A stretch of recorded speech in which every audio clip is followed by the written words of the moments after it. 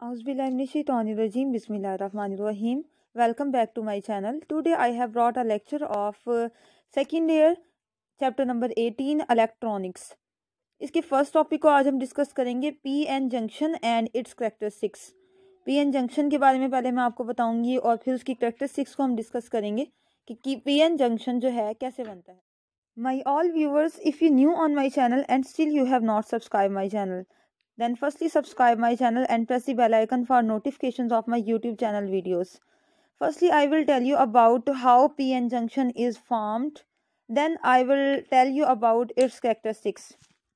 PN junction is formed when a crystal of germanium or silicon जब एक crystal जो है जर्मीनियम या सिलिकॉन का इस तरीके से ग्रो करता है कि उसका उसकी जो हाफ़ साइड हो वो डोप्ड होती है ट्राइवेलेंट इम्प्योरिटी से और जो दूसरी सेकेंड हाफ़ साइड होती है, वो पेंटावेलेंट इम्प्योरिटी से डोप की जाए, तब वो हमारे पास एक पीएन जंक्शन बन जाता है।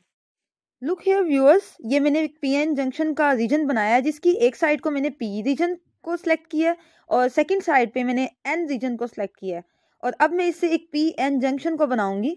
पी मीन पॉजिटिव साइड वाला रीजन इट्स मीन इस साइड पे जो है, सारे होल्स होंगे और जो एन रीजन है उस साइड पे जो है नेगेटिव रीजन है और इट्स मीन के इस साइड पे सारे इलेक्ट्रॉन्स होंगे और चंद एक होल्स होंगे। ये देखिए मैंने यहाँ पे, ये जो एरोज के साथ होल्स बनाए हैं पी रीजन में और एन रीजन में मैंने बनाए हैं electrons which are randomly moving और दरमियान में जो है मैंने एक पी एन जंक्शन रीजन बनाया है, जो कि पी और एन रीजन्स के पी साइड से हमारे पास होल्स की मूवमेंट की वजह से और एन साइड पे जो है हमारे पास इलेक्ट्रॉन्स की मूवमेंट की वजह से ये रीजन हमारे पास एक बना है पी एन जंक्शन रीजन है, दरमियान का जो रीजन बना हुआ है, जहाँ पे इलेक्ट्रॉन्स और होल्स जो है इकट्ठे हुए हुए हैं।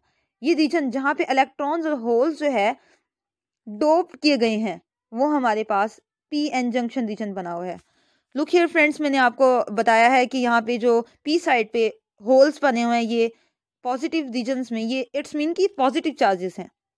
और ये जो रैंडमली एरो वाले एरो हेड वाले हैं, ये इलेक्ट्रॉन्स हैं ये मैंने सबके लिए नहीं बनाया लेकिन आपको एक आइडिया हो गया है कि ये जो एरो हेड वाले हैं डॉट्स वाले हैं ये इलेक्ट्रॉन्स हैं हमारे पास। अब होता क्या है इसका प्रोसीजर कैसे होता है कि पी साइड से जो है हमारे पास होल्स और एन साइड से इलेक्ट्रॉन्स मूवमेंट स्टार्ट करते हैं। Its N region contains free electrons as majority charge carriers and its P region contains holes as majority charge carriers Just after the formation of the junction, the free electrons in the n region because of their random motion diffuse into the p region. A result, as a result of this diffusion, a region is formed around the junction in which charge carriers are not present. And this region is region is formed around the junction which is uh, due to movement of electrons and holes. A region is formed which is called depletion region, ये जो हमारे पास middle में reason बना हुआ है, depletion region है due to electrons and holes depletion and in this figure you know that circles are holes and dots are electrons and holes represent positive charge carriers and dots represent negative charge carriers due to the charge on these ions a potential difference difference across this this region in charges की वजह से जो है depletion reason के ऊपर एक potential difference आ जाता है। और उसकी वैल्यू होती है स्टूडेंट्स हमारे पास point seven volt in case of silicons and point three volt in case of germanium this potential difference called potential barrier ये पोटेंशियल बैरियर कहलाता है जिसकी वजह से जो है डिप्लीशन रीजन बनता है सिलिकॉन या जर्मीनियम में। And further diffusion of electrons into the P region इस तरीके से इलेक्ट्रॉन्स या होल्स जो है फर्दर डिफ्यूज कर जाते हैं पी रीजन से एन रीजन में, फिर एन रीजन से पी रीजन में।